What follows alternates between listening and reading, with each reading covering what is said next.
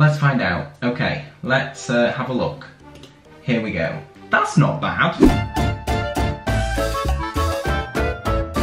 Hello everybody and welcome back to a brand new video. I do hope you're all well. This is just a quick video because I have just seen that my results for my cryptography coursework that I submitted before Christmas, I've just checked my emails for the first time this weekend and the results were available to view yesterday. So, I thought, you know what? Why not do a reaction? It's Sunday the 17th of January and it's 20 past 10 at night. It's actually the night before my first exam for semester one. We've got exams coming up. By the time you're watching this, I probably already had my first exam. So I've been revising all day and then I just checked my emails to actually find out how we can access the exam tomorrow morning. And uh, I've just seen that these results are available. So I thought, you know what, let's do a reaction. I have been checking throughout this week because the results usually take about four weeks to get back to us three or four weeks was the last coursework anyway. So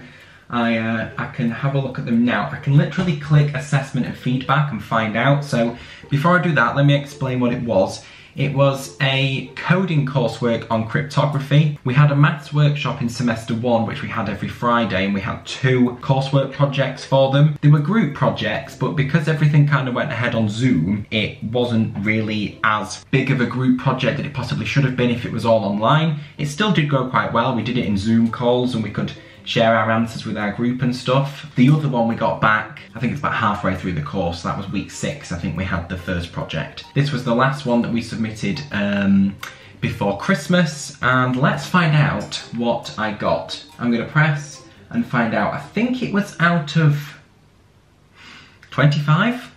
I actually can't remember, because I submitted it, I think, a month ago.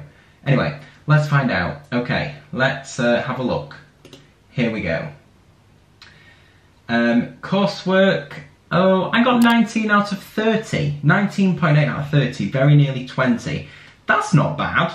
I thought it might have been a little bit better than that, but let's, uh, let's see. The feedback was question three is incorrect. What was question three? Question three was the digital signature algorithm. Oh, okay, I remember this now. So I was running out of time a little bit and um, I think it was about two days before the deadline and the questions were quite long. Let me show you here. The questions were quite long and I remember I kept getting an error and oh I remember the error I kept getting now. I wasn't able to work it out for some reason so question three is incorrect but good attempts on the rest especially question four well laid out project. I'm pleased with that you know that's literally like um, two thirds of the marks that's pretty good. So question one was correct right says good attempts on the rest especially question four. I knew I got question four right because our final answer, we had to decrypt a message and the message that I got was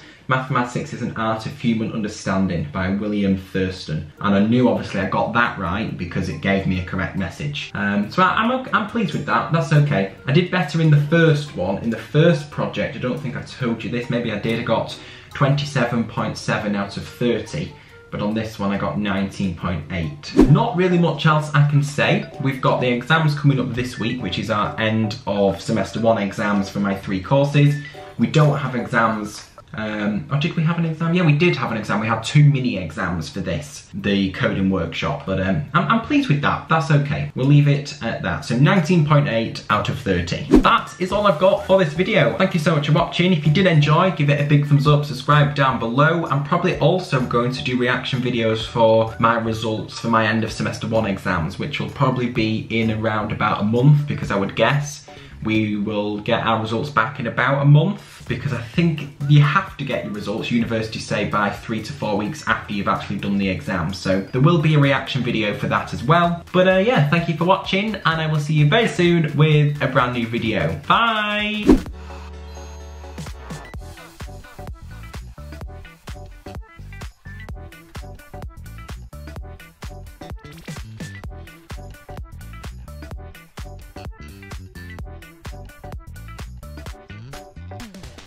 That's not bad.